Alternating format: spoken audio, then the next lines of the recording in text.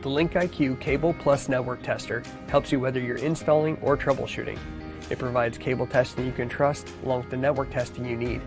It's got a gesture-based touchscreen that makes operation as easy as your mobile phone.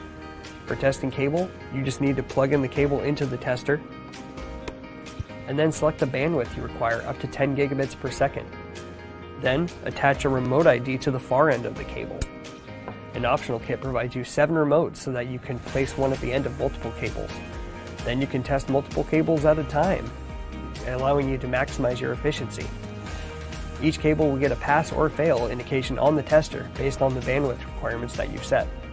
You can save up to 1,000 tests in the LinkIQ. It automatically increments the cable identifier to save you time. You can document and share your work on our free Linkware PC utility, which is used by tens of thousands of users worldwide.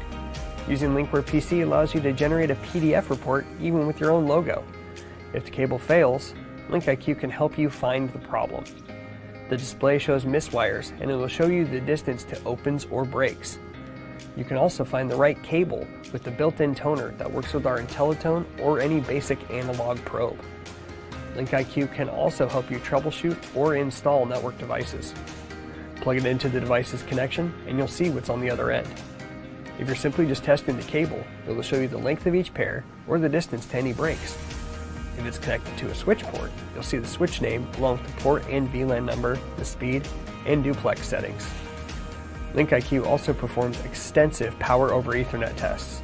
It shows you the class and the amount of power being advertised, and it also places a load on the PoE connection to see if the power can be delivered. You can document your results and save them in Linkware PC the LinkIQ Cable Plus Network Tester. Try it yourself on your virtual demo.